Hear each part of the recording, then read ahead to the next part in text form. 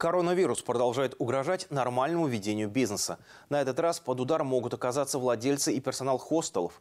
Причина в новых санитарно-эпидемиологических требованиях к эксплуатации помещений. Предприниматели говорят, что выполнить их нереально. Еще весной прошлого года, во время первой волны пандемии коронавируса, Роспотребнадзором были разработаны рекомендации по работе отелей и хостелов. Многие из них, конечно, были вполне разумными. Причем какие-то выполнялись и без всякого коронавируса, какие-то стали новинкой.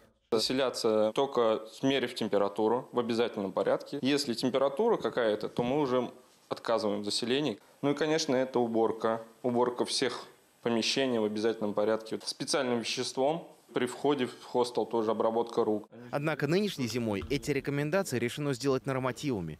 И здесь уже ательеры и эксперты всерьез забеспокоились. Во-первых, нельзя всех стричь под одну гребенку. Крупную гостиницу на сотни номеров и маленький хостел. Давайте для примера возьмем какой-нибудь более известный отель в советских времен в Москве в гостинице «Космос» и в каком-нибудь там хостеле, да, который располагается в отдельном э, здании или на первом этаже. Естественно, эти требования, наверное, не должны быть одинаковые.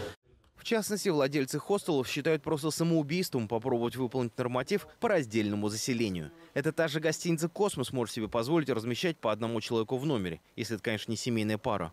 У хостела специфика работы совершенно другая. Он подразумевает э, нахождение ни одного человека. К чему это может привести, если вы теоретически начнете выполнять? Теоретически, если я начну это выполнять, то я просто закроюсь.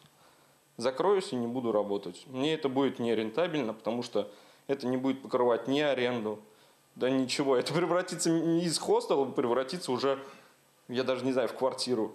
Предприниматели надеются, что общественные организации, та же «Опора России», смогут убедить Федеральное Минэкономики дать негативный отзыв на разработанный Роспотребнадзором проект этих нормативов. Если же их все-таки утвердят, то остается надеяться, что чиновники будут закрывать глаза на неминуемые нарушения. Как сейчас происходит со спортивными залами и ночными клубами.